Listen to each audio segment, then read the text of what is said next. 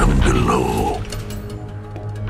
तो शेर तेंदुआ, चीता, शिकार पे निकलते हैं। हिरन बचना चाहेगा। लेकिन सूर्यास्त हो जाए तो कल सुबह देखने के लिए कौन ज़िंदा रहेगा, ये प्रकृति तय करती है।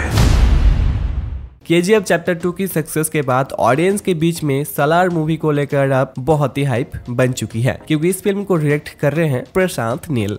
सलार मूवी को लेकर एक बहुत ही इंटरेस्टिंग न्यू अपडेट निकल के आई है। अकॉर्डिंग टू बॉलीवुड हंगामा के चैप्टर टू की सक्सेस के बाद प्रशांत नील सलार मूवी को लेकर बहुत ही प्रेशर में तो है ही, साथ ही सलार मूवी को और भी लार्ज स्केल में बनाने जा रहे हैं एंड इसके लिए ढेर सारे प्लान कर रहे हैं। मीडिया रिपोर्ट्स के अनुसार सलार मूवी को लार्ज स्केल में बनाया जाएगा, जिसके कारण इस मूवी की बजट और भी इंक्रीज होने वाला है।